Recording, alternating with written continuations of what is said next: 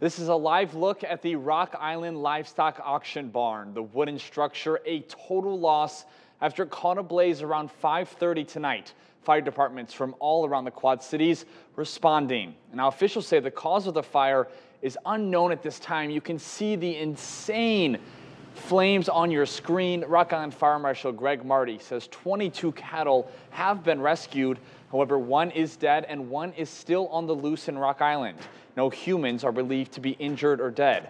Firefighters are asking the public to stay at least two blocks away from the scene as they contain the blaze, and they especially urge people to stay away from 31st Avenue and 9th Street. The auction barn is located at 534 34th Avenue in Rock Island.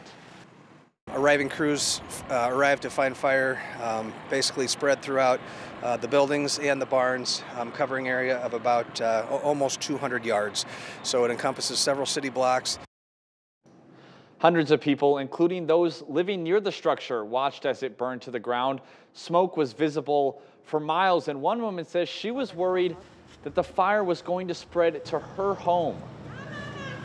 It was really intense and a lot of popping and uh, fire um, just grew and got larger and got larger and got larger. I was concerned about how high the flames were getting and how high it was up in the air and how uh, dry everything was around us.